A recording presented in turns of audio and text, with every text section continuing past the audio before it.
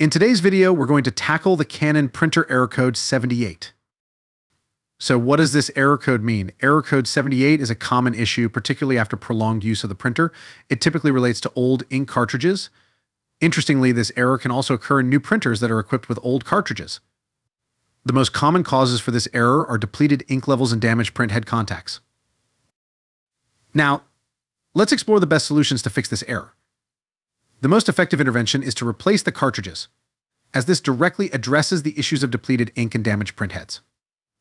To begin, open the front door of your printer. This action will cause the cartridges to slide into a position that makes them easier to access.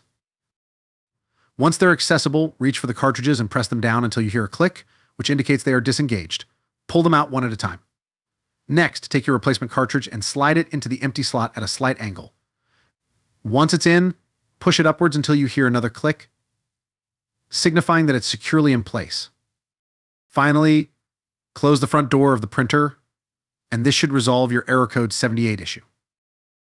Thanks for watching, and until next time.